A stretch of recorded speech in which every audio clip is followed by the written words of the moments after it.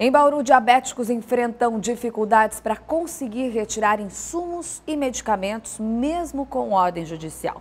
Não é sempre que a farmácia judicial do estado tem insulina disponível para entregar. E quando tem, raramente é o tipo certo que o paciente precisa. Carlos foi diagnosticado há mais de 20 anos com diabetes tipo 2 depois de fazer exames periódicos. Desde então, a rotina é essa. Por dia, são cinco picadinhas para medir o valor da glicemia, que não deve ser superior a 120 miligramas por decilitro. Segundo ele, não é nada fácil controlar o diabetes. Por isso, ele até criou essa planilha para acompanhar as medições diárias. E os medicamentos são fundamentais para essa luta. Mas é aí que entra o problema. Faz 10 anos que ele retira na farmácia judicial do estado, em Bauru, 150 fitas reagentes e a insulina glargina, também conhecida como Lantus. Ele precisa de cinco refis mensalmente, que são suficientes para os 30 dias. Porém, faz três meses que ela não está disponível. A resposta que nós temos é que não há previsão. Ligamos, tentamos entrar em contato diariamente, não há uma solução imediata. O senhor aguarde, estamos providenciando e isso os dias vão se passando. Carlos tem 69 anos e fica preocupado com os riscos que corre caso não consiga o medicamento. Se até agora ele está bem, é porque tinha recebido uma doação de quatro caixas de insulina de uma conhecida. Só que elas só devem ser suficientes para os próximos 15 dias. Sendo professor aposentado, o nosso orçamento ele é limitado. Esse custo, conforme você disse, mensal a mais, estoura o nosso orçamento. Maurício também tem tido dificuldades. É ele quem costuma retirar as insulinas e os insumos para o filho que faz o tratamento contra o diabetes há 18 anos. O filho dele foi diagnosticado com diabetes do tipo 1 aos 9 anos de idade. Maurício conta que sempre teve algum tipo de dificuldade, que faltaram insumos e até mesmo as insulinas, mas desde março deste ano a situação ficou mais crítica. Fevereiro, acho que foi o último mês que eu peguei tudo que ele precisa né? Que tinha tudo lá. A partir de março, alguma coisa já começou a faltar, né? Sempre faltando alguma coisa.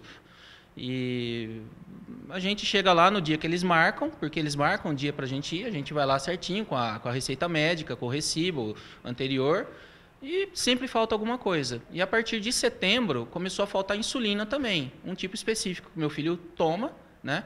Que não pode ficar sem e não acha em qualquer lugar. E é bem caro para a gente comprar. O filho do Maurício, Klaus, tem 27 anos, mora atualmente em Ilha Solteira, onde estuda engenharia elétrica. Já faz 15 anos que o pai tem ordem judicial para retirar os medicamentos e insumos também na farmácia judicial em Bauru. Esse documento mais recente, assinado pelo médico, mostra que são necessários seis refis do mesmo tipo de insulina para o filho, além de três refis de um outro tipo, a insulina Humalog, que também é conhecida como Lispro, e 100 unidades de tiras reagentes. Segundo Maurício, a retirada deste mês já era para ter sido feita. Mas antes mesmo de ir até a farmácia, ele foi informado que não era tudo que estava disponível. Por telefone eles informam que não chegou a insulina, que para nós é o mais importante, né? A agulha, a fita, alguma coisa a gente consegue, mas insulina não pode ficar sem. Em setembro, Maurício retirou apenas as agulhas, as fitas reagentes e uma das insulinas, a Lispro. Só que essa, segundo ele, é uma insulina de ação rápida, usada para baixar a glicemia quando ela está muito alta.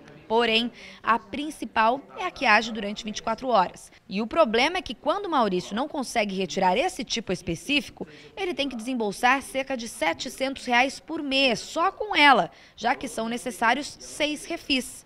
Uma alternativa que ele encontrou foi contar com a ajuda de amigos e conhecidos, mas está aguardando poder contar com os direitos que o filho tem. Onde a gente pega ali, todos são com ordem judicial. Você não pega sem ordem judicial. Né? Já é uma coisa separada. Chegou naquele dia que eles marcam, tinha que estar separado para mim o que eu pego lá. Só que não é isso que acontece faz tempo. Né? A Secretaria Estadual de Saúde disse que a região de Bauru está abastecida com a insulina Lantus e que as canetas de insulina estão em fase de aquisição e os pacientes vão ser avisados assim que elas forem entregues. Sobre os insumos, disse que somente as lancetas estão em falta, aquelas agulhas pequenas para furar o dedo e fazer os exames, mas que elas já estão sendo compradas. A Secretaria ainda informou que as insulinas especiais não fazem parte da lista de produtos definida pelo Ministério da Saúde para distribuição na rede pública. Diz também que não há evidências científicas de que elas tenham eficácia superior à que estão disponíveis no SUS.